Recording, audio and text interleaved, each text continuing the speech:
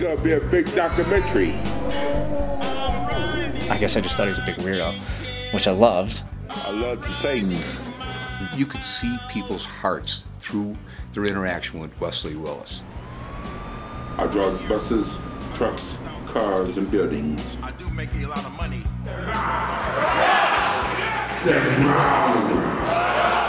We're practicing it, and it was such a ride because he'd be like, "Thank you, everybody! I love you!" And we're standing like, "Wes, it's just us." The, the Willis family, you know, you don't don't talk to them. They're they're crazy.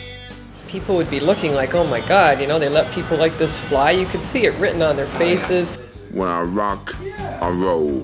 When I roll, I rock. Rock over London, rock over Chicago,